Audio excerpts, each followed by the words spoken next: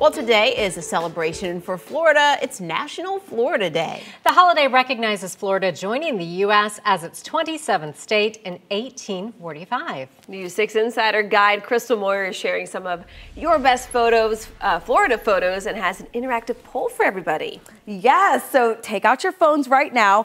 I want to know how Florida you are. So, depending on who you ask, Publix is arguably a staple of the Sunshine State. The first Publix grocery store actually opened in Winter Haven in 1930. Now, if you shop at Publix, you may have noticed the iconic scale that typically sits near the exit. So, I want to ask you have you ever weighed yourself at Publix?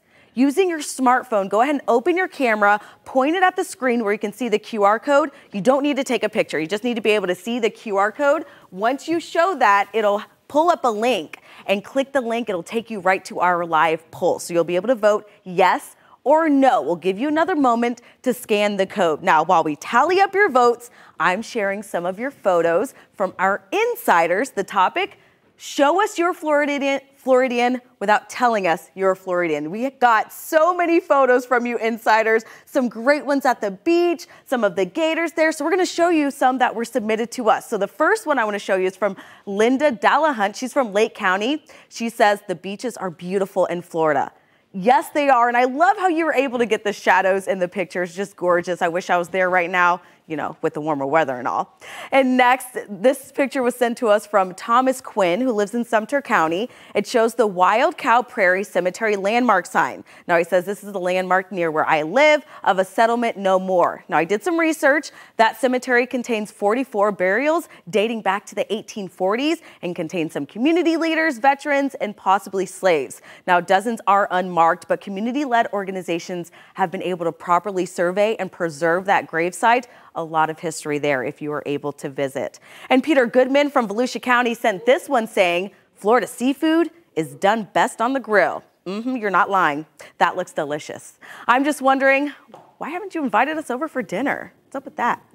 And Florida's not Florida without its uh, unofficial mascot, the gator, of course. This picture was sent in by Karen Burke from Lake County. She wrote the caption, just another day on the golf course. Looks like it. Yeah, really fun there. I don't know if I would be wanting to golf with that gator though. And last but certainly not least, you know you're a Floridian if you love the Jacksonville Jaguars.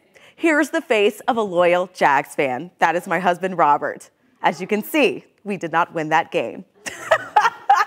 He's gonna hate me for this. You can show us you're a Floridian without telling us you're a Floridian by becoming an insider, sharing your photos and adding it to the slideshow that we have on our website. I'll be highlighting a few more at 4.30 p.m. You can also take our personality quiz, How Florida Are You? So let's get to the results of our poll. I asked, have you weighed yourself at Publix? So I'm gonna say yes, and let's see what the results are here.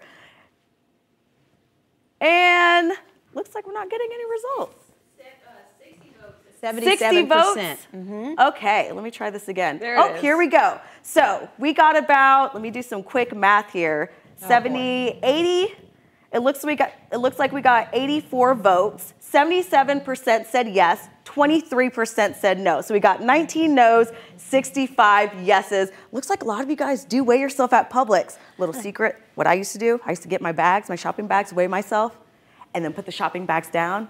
Look how much weight I Oh, lost. that's nice. Smart. That's a little mind trick there. I know, right? Yes. So they're going away. I'll use it if I look around first.